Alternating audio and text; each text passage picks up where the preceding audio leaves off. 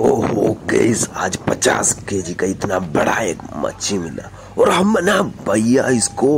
आज cold storage के अंदर डाल रहा हूँ और ऐसे नेचुरल वीडियो के लिए लाइक और सब्सक्राइब करना और टिंग टिंग बजाना भूलना नहीं गई